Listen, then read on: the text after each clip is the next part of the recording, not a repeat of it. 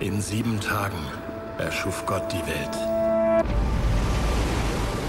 Und in sieben Sekunden zerstörte ich meine.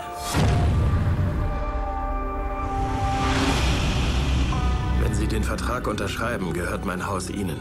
Ich bitte Sie nur, nie mit mir Kontakt aufzunehmen. Warum ich? Ich habe es in der Hand, seine Lebensumstände total zu verändern. Aber ich möchte dem Mann nichts schenken, was er nicht verdient hat.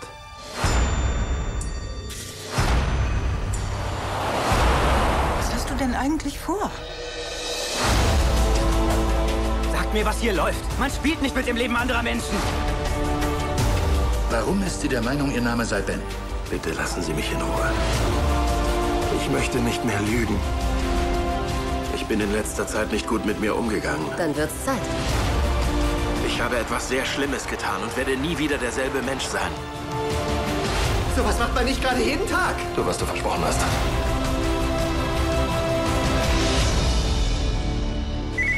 Hallo? Es ist soweit.